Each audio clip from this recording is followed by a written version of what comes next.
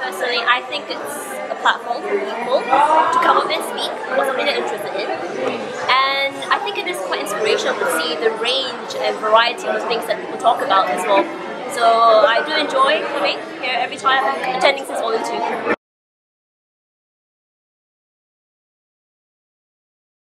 Um, you should. you will love it.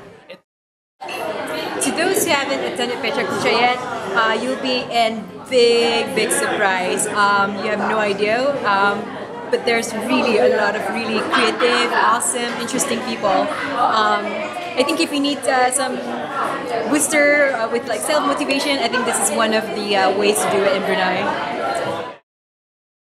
Um, really and it was really nice to listen to them speak about their lives and their achievements. Kind of make you want to get up and do things of your own. In a few words, about just one, inspirational more than anything.